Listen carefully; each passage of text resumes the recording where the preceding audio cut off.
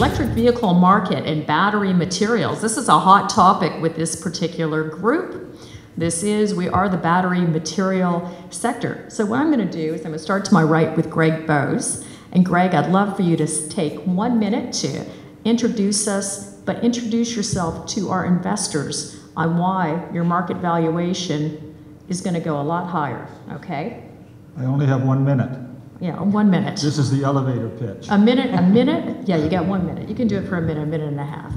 Uh, very simply, uh, lithium, cobalt, graphite are very small markets. The um, automobile markets are very large. And even if we only get a small degree of penetration into those markets, a couple percent of new vehicles every year, that requires multiple new uh, graphite mines, cobalt mines, and lithium mines. So nothing is, uh, nothing is certain in the investment business, but uh, that's a pretty good bet. And Brent, your stock's up from NextSource is up about uh, 10, 11% today. Uh, what's going on here? Well, um, that's a great question. I, uh, I, mean, we've been very much flying under the radar. I mean, uh, we do have an updated feasibility study that's coming out next week, but it's all based, if you saw my presentation yesterday, we are doing what's called a phased modular approach. And this is a, a first, we believe, for the industrial minerals, but really for the mining. And it's a proof of concept. As I said yesterday, that right now uh, there certainly has to be uh, more graphite mines coming online, but as we illustrated, most of the economics out there don't work in today's prices. So what we're trying to do is scale back, do it in a phased approach, uh, come out with a right-sized mine, which is smaller, but still the third largest mine in the world, but build it incrementally in a modular approach as I expressed, we can build that for $20 million. Our original capex was almost 200 million for roughly 50% more product. So this is quite dramatic, and if we get this thing done right, the customers we're selling the product to, we're in there. it, it is a uh, first uh, to the post. Only two or three projects are going to make it, uh, and that's assuming today's economics. And of course, if things change with the electric vehicles, then a lot of projects will come online. But we we have to be first and this allows us to do that. And of course, William here from Lithium X, you're, Tim, you're Tim. I'm sorry, Tim. Tim, Tim. Tim. Wi- William is in Argentina uh, right now working. Okay, well, forgive me, this, this uh, company, as you know, I know most everybody here, is new to me. So go ahead, Tim. Um, We are, as I said yesterday, we're a brine-based producer of lithium, focused right now on a project in Argentina in the Sal de Los Angeles. We expect soon to be building an initial ponding system that maybe in a year and a half will produce uh, 2,500 tons of saleable uh, high purity lithium brine. And if we can do it, I suspect our stock will go up because we'll have revenue and profits. so I think that's, that's uh, probably the best bet for us. And um, of course, we have Carlos from Neo Lithium. Carlos. Oh, hello everybody. Uh, so we have what we call the next significant uh, discovery in Argentina. Uh, we discovered a property called Tres Quebradas, which we call it 3Q, uh, in the province of Catamarca. This, uh, this project is uh, unique in several aspects. One of them is has very high grade. In fact, it has one of the highest grades in Argentina and in the world, top five and has uh, one of the other important factors of brine is uh, obviously critical impurities, and we have the lowest combined critical impurities of any known salar. So those two are very important, uh, but um, you know we we also have uh, built and invested over nine million dollars within the project. As of today, we have a camp, we have a full road, and we have all the infrastructure uh, to start um, the, um, the pre-development stage. We have a resource shortly in the next uh, month or so or less, which is obviously a big catalyst, and then the PEA uh, Q3 in 2017, so another three or four months for that. So I don't know if you noticed how we've uh, managed this panel, but we have lithium on one side and we have graphite on the other. So let's talk about misconceptions in battery materials. So for instance, there's quite a significant amount of batter, uh, graphite in batteries. Greg, you want to talk, talk about this for just a minute? Um, sure. Um, I'll start with the, with kind of at the uh, at the top level. Um, when you look at the graphite market, uh, let's say for the sake of argument, it's 600,000 tons a year. Um, not all of that is battery grade material. There's a lot of variation in that. Um, the larger flake sizes won't be used in batteries because you can make more money in other markets. And a lot of the smaller stuff, either the uh, yield is not high enough or it's too difficult to uh, purify. That is also true at the level of the individual mine. So the amount of um, of uh, battery grade material in a mine is a lot smaller than the uh, nameplate capacity. The significance of that is if, for example, a 50,000 ton a year mine comes on stream and only 20,000 of it is, let's call it battery grade material, and when you turn that into anode material, the yield is 40 to 50%, so you're only producing 10,000 tons of anode material from a 50,000 ton a year mine there's a leverage effect there. You need a lot of mines in order to get enough anode material to meet even very conservative uh, forecasts of um, future growth in lithium ion batteries. And Carlos, I know you for reputation. I'd love for you to talk to us about uh, lithium uh, needs and batteries. And uh, Paul, can I get you to move all the uh, dirty glasses off the table for me, please? Well, the good thing is that um, for all the batteries that are you know discussion today, every single one will need lithium, which is uh, one of the good things about the lithium industry. But you know, another thing that people don't understand quite well is that not everything is vehicles. Um, there's a lot of other um, buses and, and, motorbikes, specifically in China, where there's about 200 million of them that are going to uh, transfer into lithium. is an extremely important market. Um, so our view is that we don't want to bet on any specific type of technology. We don't need to, being a lithium provider. Our, our main objective is to provide high-grade lithium carbonate um, and not play also the game of between carbon and hydroxide because there's other players in the market can do it better than us. So our view is to keep it simple um, and let the industry essentially go where it needs to go, which we believe will be obviously in the in the lithium side. So um, there's plenty of, of market within the uh, battery sector for lithium. Uh, obviously, the, the, one will succeed, or others uh, we don't know which one will be the next, uh, let's say, killer uh, battery. Uh, but depending on who uses it, for example, in the buses in China, there's there's certain types of batteries that are used that are more safe, that don't don't get um, don't have the higher um, call it. Um, um temperature and, and could potentially explode or burn. Uh, certain types of batteries are better than others for long distances and so forth, but at the end of the day, lithium will, will be the, at least what we believe, and I'm sure that you'll say the same thing, is will be the, the, um, the winner. And Christopher Ecclestone, I'm going to throw you up on the panel here. You're going to step in for Chris Reed, please. I knew uh, this panel was missing uh, the kickoff catalyst for the conversation, and Christopher, I'm going to put you right on the spot, and I'm going to ask you about the electric vehicle demand, because as we both know, Chris Reed has been a prolific speaker on the EV demand actually being very conservative, and uh, we're not asking people, I think he does a story actually about, uh, uh, they ask the wrong question, what is it that they, they don't ask what is it that people want instead of what is it that people need. And if they did, the EV numbers would be through the roof. So I'd like you to comment on that. Yeah, um, a lot more people would have EVs if they could afford them in the West. China is setting itself out now to produce EVs that are going to be cheap, as well as a replacement for um, for the for the com normal combustion engine in, in China because of its pollution problems, because of its dependency on foreign oil, which a few people mention, but that makes China potentially vulnerable in the long term. So there, there's a double sort of reason for China to do that. Um, in the West, um, we, have seen fluctuating fortunes for electronic vehicles.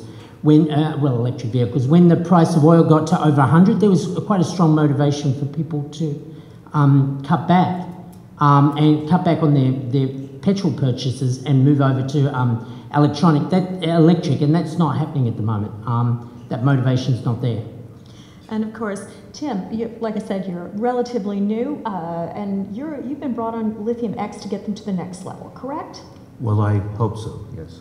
Okay, so you would be an excellent person then to talk to about uh, uh, the predictions for the growth of electric vehicles coming from more of an American standpoint. Can you comment on this? Well, um, I think first of all, I agree with what has been said today and by people yesterday that China is going to drive the market. I can tell you, having spent much of the past 10 years talking to institutional investors in the States, particularly because I was with an American company, um, their belief was that China is going to drive the market for all the obvious reasons.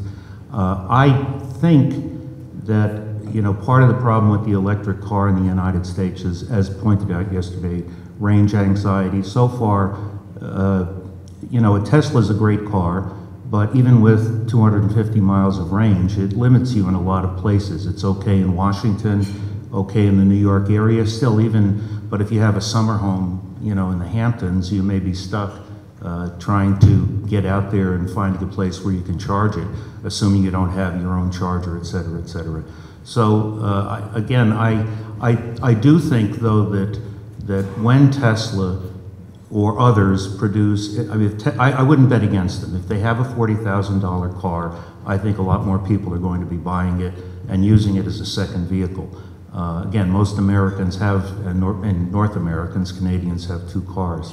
Uh, so uh, the, the other thing is, which I think the, the United States really needs to think about, and I tried to work on this in government relations at my last job, is an energy policy that promotes the use of electric technology for the reason that was just mentioned before, that really it, it, it limits your, uh, it, it makes you less dependent on foreign oil. Even though, I mean, obviously we have a lot of oil in the United States, but still, ultimately, the more oil we consume, the, you know, the more clout the uh, people who don't like us have. So that's, that's kind of our very conventional view, I think. Well, I'm going to come back to you about that, but I want to go to Carlos. Everybody here in this room knows uh, Constantine Karayannopoulos, and uh, we know you have some big heavyweights in Neo Lithium.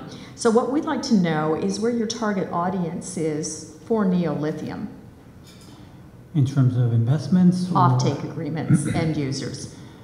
Um, well, offtake agreements, we've been to China about six times over the last six months. We've been to Europe about, mm, about four, four or five times. And, um, you know, we're not uh, looking for anyone specific. Uh, we're going to get the best deal possible, uh, be that China or be that Europe. Um, th- what we want to do is specifically, as, as, a, as a lithium developer or exploration company, uh, coming online is to associate ourselves with a group that will help us through uh, the feasibility. And, and to give you an idea, we don't want to build a feasibility study in a vacuum. As soon as we have the PEA, which we should be in Q3, we want to make sure that we have a strategic or a group of strategics or you know somebody with us that will help us build whatever we need to build um, correctly. So the specifications have to be correct the amount that we're going to produce has to be correct so we can essentially size up uh, our production accordingly. So um, we definitely are talking to the Chinese, we're definitely talking to the Koreans and Japanese, and we're also talking to the Europeans. Um, now, I think everybody's saying that China's going to be number one. I agree. They're the ones that ask the better questions. They're the ones that are more aggressive. They're the ones that want to pay more, at least today.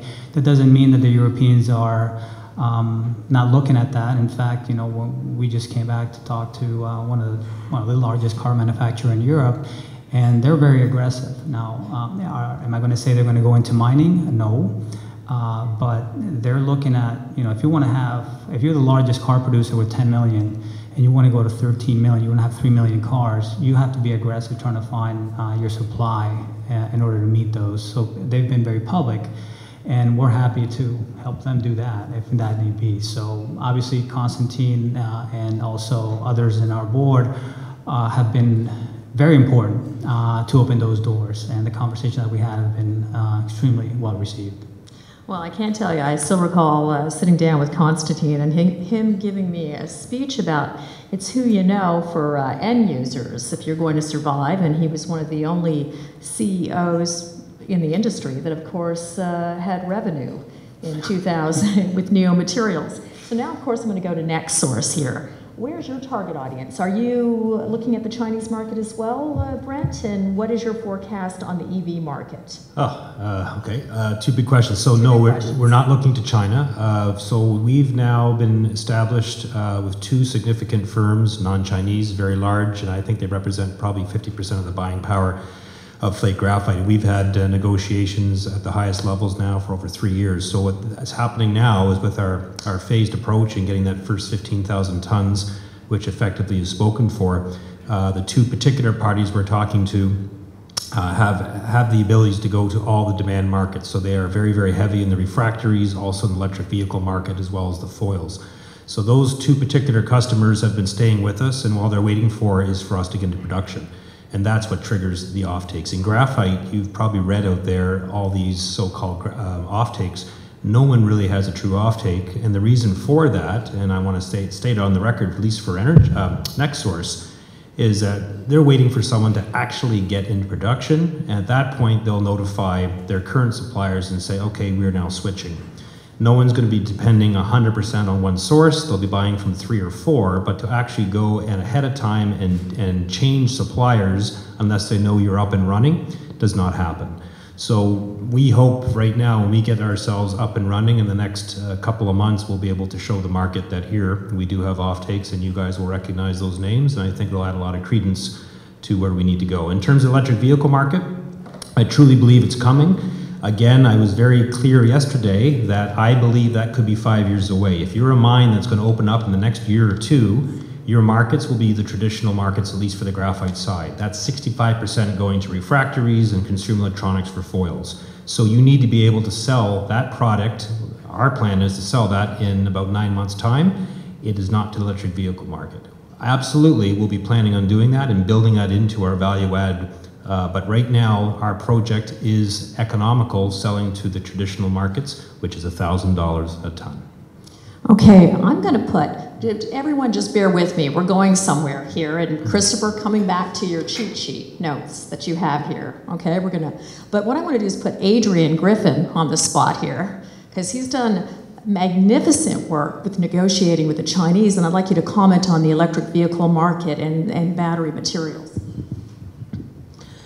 I think Christopher made uh, a pretty pertinent comment. And if you look at the year on year expansion of the EV market, uh, in the Western world. It's actually been a contraction over the last 12 months, uh, and that's been driven by cheaper fuel. So we're, not seeing what people uh, have predicted for a long period of time. Now, that's, that's going to change, of course. There'll be a, a balance between uh, fuel pricing and the attractive uh, pricing of, of EVs. And I think longer term, we're going to see a technology change there too, which will get rid of the range anxiety I was mentioning some of that yesterday, and I think that will uh, revolve around uh, changes in, in battery technology, battery chemistry, which might even see cobalt disappear from many of the batteries. So that, that, that's where I see the, the EV market in the Western world. It's going to change, there's no doubt about that, and with uh, legislative changes, particularly in uh, Europe and Scandinavia, um, we will start to see a bit of a catch up regardless of fuel, fuel price, I guess.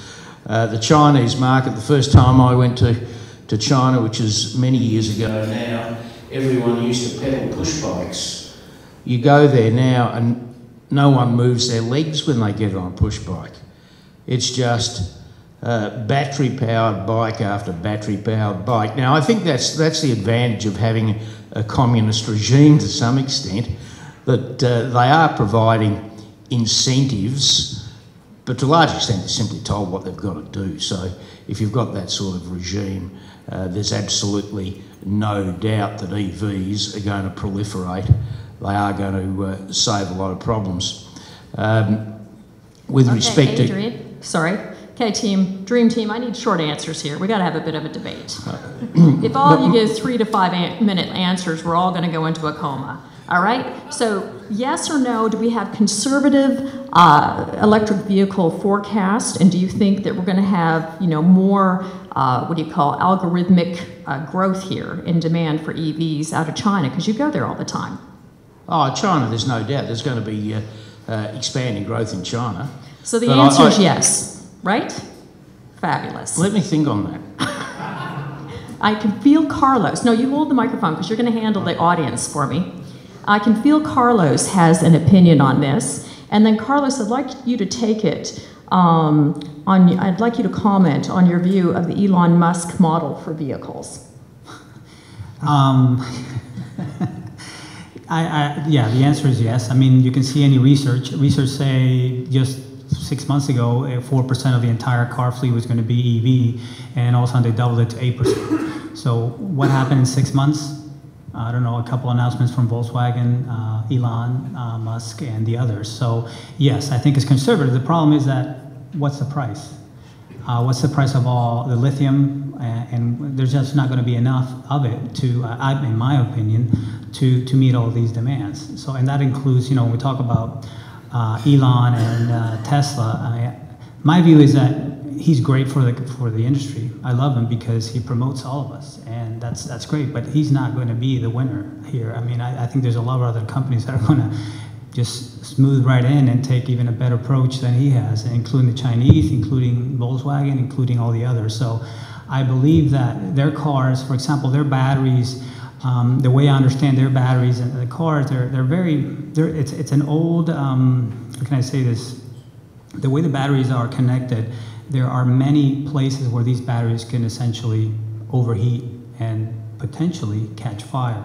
Now, all, all these points that are, are within the battery, I, I believe that at some point we will see you know, uh, risks associated with that. I'm not saying it's going to happen, but it could happen. And there's other um, uh, potential types of cars and battery uh, or BMSs that are much better off, uh, at least in my opinion, uh, than Tesla. Now, Tesla obviously, of course, has the big name and you know the promotion behind it, but I don't really believe, and maybe I'm the bad guy in the room here, but I don't believe that Elon's going to be the, the winner at the end of the day. They're going to move out. Tesla's not going to be a car manufacturing I company for too with you. long. The comments I make, I mean, Tesla is a halo brand. So Tesla, everybody sees it. It's a high, high quality car. Consumer Reports ranked it number one. We look at that, and as an average consumer, that is what gives you the, the confidence that when you buy electric vehicle, it's going to work. I came back from China two months ago, met with one of the largest producers of battery EVs, and they said the following to us. We have failed in the internal combustion engine. We will not fail in an electric vehicle. China sold more electric vehicles last quarter than Tesla sold globally all year. So when they, again, I told you guys about 500,000 vehicles will double the graphite space. 500,000 vehicles, period. So Tesla has plans for 500, Volvo has plans for a million, Bolt for Chevy has the same. You have Nissan at 8 million. These ones are significant. So again, the proliferation of electric vehicles, I'll put it this way. They either work or they don't. You're not going to see a 1% or 10% penetration. It's either going to be 50% penetration in 10, 20 years, or it's going to be a failure. I don't think anyone in this room believes that electric vehicles are going to fail at this stage.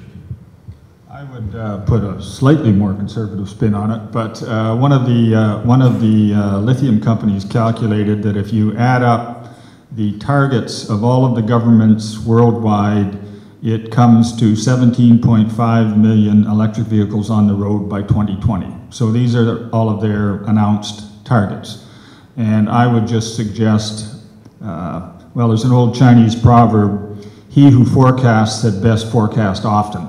And, uh, you know, I don't think we'll get there, but I think the most powerful message is if we get 10 or 20% there, you should buy lithium, cobalt, and graphite.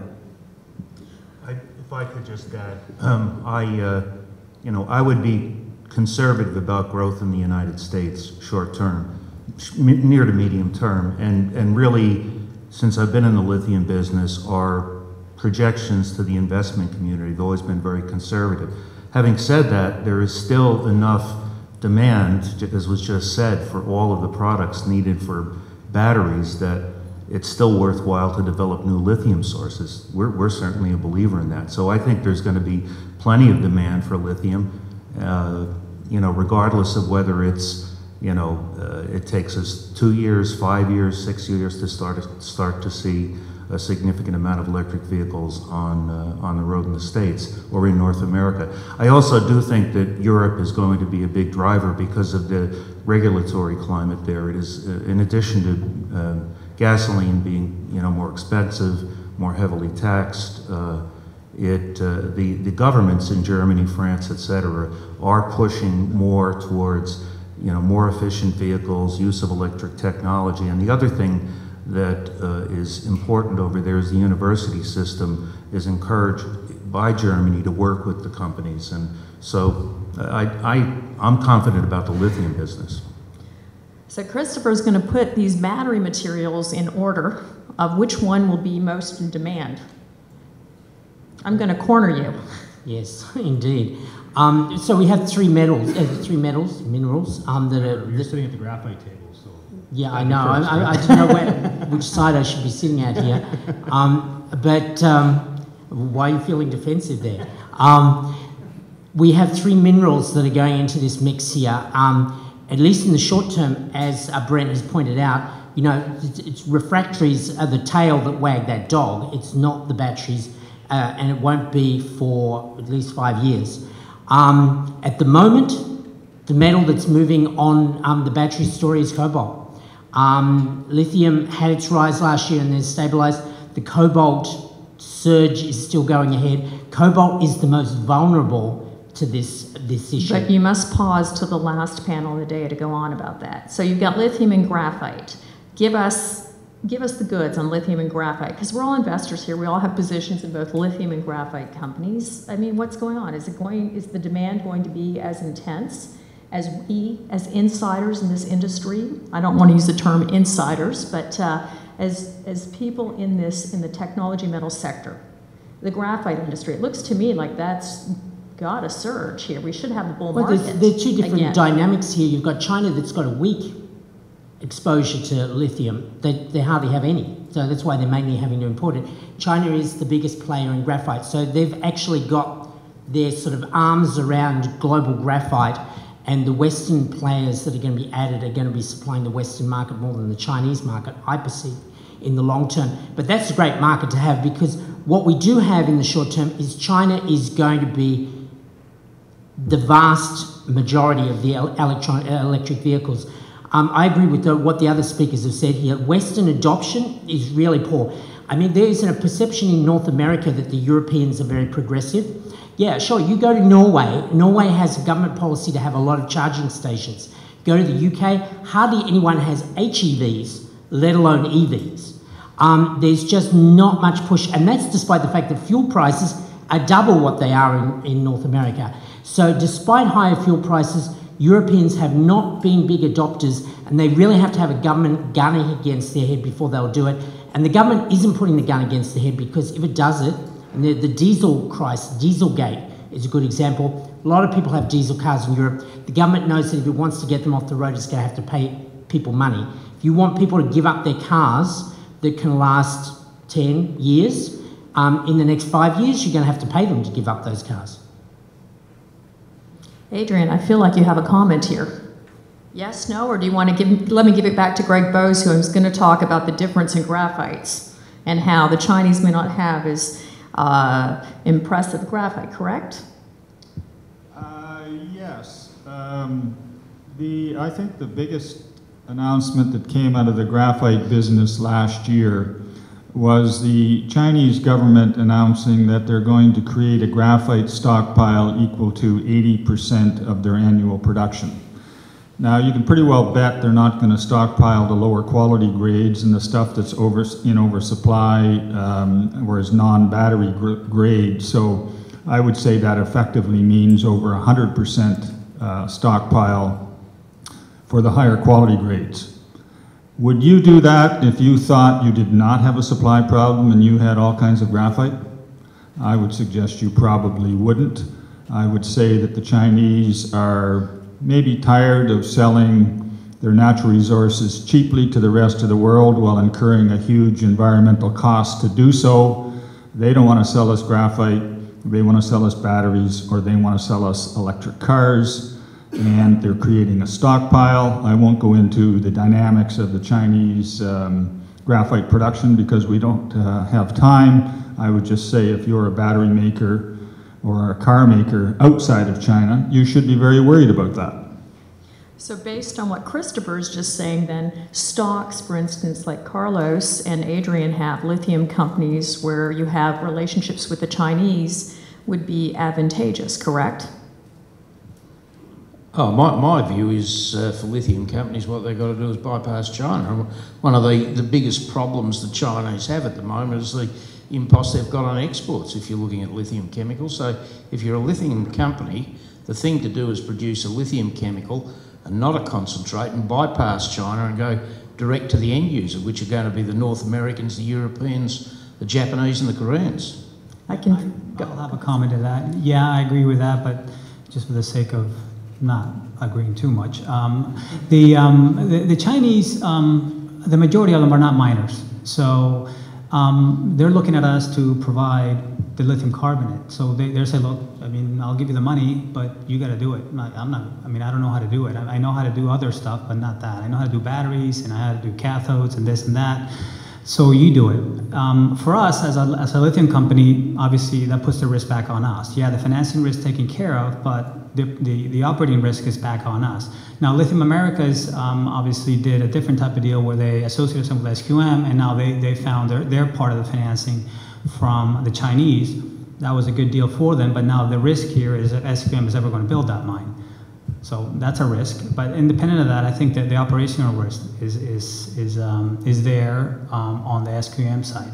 Also, the Chinese, um, um, when you say to, you know, obviously avoid them, um, when you look at the capex in China, as you know, I'm sure, uh, to build an operating plant, let's say in Argentina or Chile, or wherever that may be in our world, um, it costs three, four, five times more than to build it in China.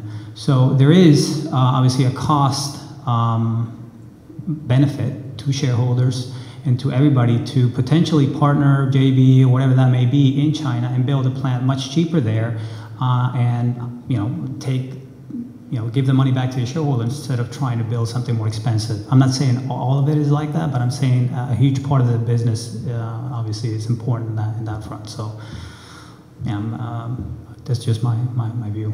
So, Tim, you know, we're talking about the U.S. and maybe the demand for electric vehicles may not be as great because you know we it's it's a large country. Okay, so what about this off the grid, on the grid, and all of these? Uh, you know, uh, the consumer that wants to have a battery and live their own life and not be uh, tapped into the uh, electrical infrastructure. Can you talk You're talking about, about storage batteries. I am talking Yeah, about well, storage. batteries. certainly uh, Rockwood, my former employer, uh, and forgive me for talking too much about them, but they, they certainly believe that there, if we could sell good, if, if the industry were to develop good lithium storage batteries, the profit opportunity would be very good there because what you need is reliability. The only uh, hesitation I have about how quickly that could grow or how big it could be is that, is that again, the, the people who use batteries are pretty conservative. And, uh, you know, the thing about a lithium battery for a vehicle is it's light. Same thing for your, your phone. A lithium battery is great, but, uh, you know, the, they, the battery industry itself is still, is still leaning towards uh, uh, older technologies for storage. So, I, I- you know, I, I I don't have an answer to that personally, you know. But I, I can say how clever it is to keep uh, referring to, you know, what a coup it was for uh, uh, Lithium X to get you on their team. Well, they got two other smarter guys, and then, uh, and then the smarter guy said, hey, Tim, why don't you join? So I'm sure, uh, do you have a comment I on do. I battery, mean, uh, battery storage? Yeah, just to, to give the size of the, the markets. I mean, electric vehicles are, are the, uh, it, it's out there. I mean, it's, it's the thing we can all see. You should see the forecasts for large scale energy storage. They dwarf cars. So these are batteries that sit under bunkers. For example, vanadium redox batteries, lithium batteries, sodium sulfur batteries. All these, especially the lithium ones, they just take more and more uh, of the cathode and the anodes that you'd find in a car. And the projections, when I came again back from Jap- Japan and China just most recently, it is mind boggling. But you don't hear about this. These things are extremely industrial. For example, in Japan, they have football fields of vanadium batteries sitting underground, and they'll power a few, a few uh, buildings in Japan, but you never hear about it. It's not sexy, but the amount of, of these energy minerals that are sitting in there are extremely impressive. So if you believe in the electric vehicle movement, you should be as investors equally excited if not more on the large scale energy storage that is the future it's billions and billions and billions of dollars in markets and all that stuff is happening underground electric vehicles we talk about because we see them we drive them and they're tangible we want to use them but the energy storage all of us could easily and think of the applications in third world countries that this can help and that's where governments right now we're seeing australia canada united states especially japan move into those energy storage systems If I- If I could just add one thing, I I would, when I look at the lithium market and the, uh, potential for growth. I don't simply look at electric vehicles. I certainly, and I'm basically agreeing with what he just said. There's storage, there's electric bikes, uh, you know, buses. Certainly, buses would be a great thing to have uh, in, a, in, a, in any city. I mean, uh, uh, and, and they are moving that way. So I would look at the whole potential uh, uh, uses of lithium in the future and, and, and battery materials generally and, and think that, that that provides a great opportunity for all of us. Yeah, I would just, uh, just to emphasize that point, uh, lithium-ion battery business is $20 billion a year and is growing at over 20% a year. What else is in this economic climate? And that market is still predominantly small devices. Uh, EVs have barely started. Grid storage has barely started. What about the replacement of lead starter batteries? There's all kinds of, those, those are three huge, huge markets. And uh, lithium ion batteries only need a small share of them to continue that 20% uh, growth. So, again, I don't see, you know, for example, electric vehicles being a revolution. It's an evolution. Gradually, it'll permeate, permeate into society, as will all these other things, and that growth will collectively continue. So what I'd like to do now is I'm going to put Christopher on the spot. Christopher, you know all the four of these companies, yes? Do you know all four? No, Which, uh, which of these companies do you know? I know these two. Great. I'm going to challenge you to say something nice about both of these companies. Go. Um, well, Brent was hiding his light under a bushel there when he was talking about the vanadium redox because, of course, he has one of the largest vanadium resources in the world in the form of the Green Giant deposit there in, um, in Madagascar. Can you reach in closer to the microphone, please? Because I'm interested. We want to hear what you're saying.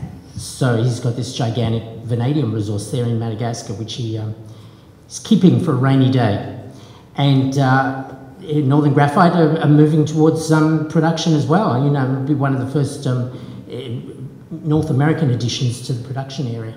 Okay, and because you're so scary smart, as we refer to you, can you ask Carlos uh, and Tim a question or two here, and then uh, see if you can ascertain something really nice to say about them? Come on, Lithium X. You got to know them. I mean, they had that. Yeah, give me something nice to say because I'd love to tell my wife that somebody had something nice to say about me, you know. So, also my children, they're pretty critical. So, I, I've seen I've seen Christopher uh, chug out you know 30 pages of research uh, in one day. I think you can handle a couple of uh, questions here uh, with these gentlemen. My mind is a blank. um, it's fried.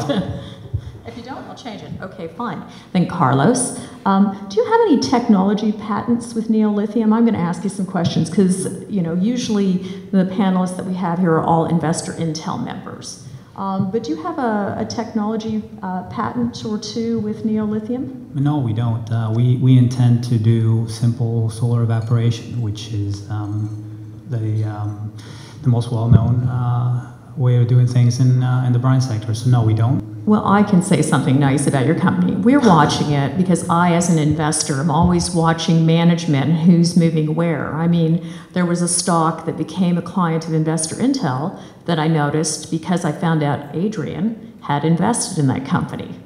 Okay, so uh, Tim, would you like to, to give us kind of a sell, something nice to say about uh, Lithium X? I mean, I'll be honest with you, we're a little incredulous that the stock can continue to move north. I mean, up a thousand plus percent in one year. As far as we're concerned, that seems like we missed the boat. Tell us why we're still have an opportunity to get in now.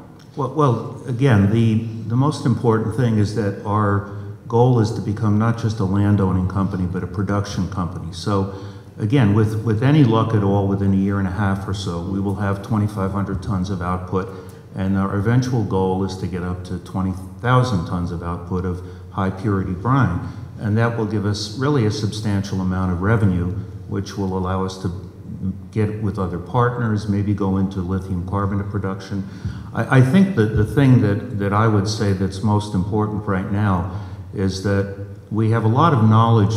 It is not easy, having spent 10 years traipsing, traipsing through the desert in both the Atacama and uh, Clayton Valley. I do know that it's not easy to produce uh, lithium uh, with the brine method. It's, it, what it really takes is a lot of, you could call it artistry, uh, but uh, you, need to, you need to have the right mixture of brines and you need to be able to monitor the system as it goes through the stages so that, so that you get out the valuable byproducts at the right stage, that you don't waste them, and that you, in the end, you end up with a 5 to 6% brine solution that, that has retained as much of the lithium as possible. It's very easy to lose the lithium in the process if you don't, if you don't mix uh, the brines properly from the different wells you're using. And the, the team we have has had a lot of experience in that. In fact, I mean, it's, I I would say it's very, it's no exaggeration that our, our COO um, really developed the Atacama method in Chile. And there was nothing in the desert when he went there. So that's, that's the best thing we have going for us, I think expertise. Okay, well, again, we have a lot of, uh, uh, what do you call it, brain power on this panel. Does anyone have any questions about battery materials? Processes, extraction, forecast? You got the experts right in front of you. Okay, well, I'll ask one more question. Uh, Christopher, lithium and graphite this year, prices up or down? You don't have to give me a percentage, and we'll let everyone on the panel I'd say that they're going to be lightly up.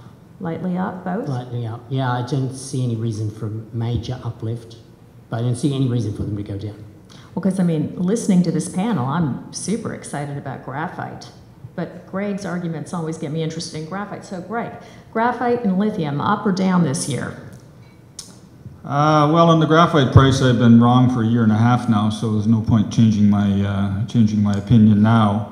Um, you know, graphite's kind of been the uh, poor sister among the three minerals because cobalt and lithium have already taken off. Uh, graphite has not yet. I think it will start this year. I think if you remember 2012, the graphite price was way up because of steel demand. Uh, Chinese economy slowed, steel business cratered, graphite price came down, and that has masked what has happened on the battery side, where um, batteries have gone from almost nothing to a third of the flake market in five or six years. And so that is going to show up in prices, I hope this year. And didn't the consultant for Tesla, wasn't he a fan of uh, Northern? Uh, he was, he was, yes. Uh, he was here last year. I think he's too busy now dealing with Tesla issues. And what about you, Brent? What do you think? Well, um, I, I agree with Greg, uh, and I also agree with Christopher. The prices have actually stabilized. We are seeing now um, requests coming from internally from the traders and some of the people who buy, um, especially the battery side has has certainly gone up about 10%, and now you're starting to see the flake for refractories go up about three or four percent. One interesting trend that I thought was fascinating when I came back from Japan was that the actual batteries uh, are now using more natural flake graphite than they are synthetic. And that was not the case five years ago. If you go back to 2006, it was 100% synthetic. And now you're seeing about a 52 to 48%. And the actual composition of a Tesla battery is more natural graphite than it is synthetic. And why is that? Because you get characteristics uh, for both. And natural graphite gives you higher capacity, which is range in, in a car. And the fact that these companies, and there's one in particular in China that's actually experimenting right now with that 90% natural, 10% synthetic battery. So I see that trend being just wonderful for the graphite side. And I'm sure you can talk to Brent a little bit later. He'll explain additional advantages to you. So, what do you think, Tim?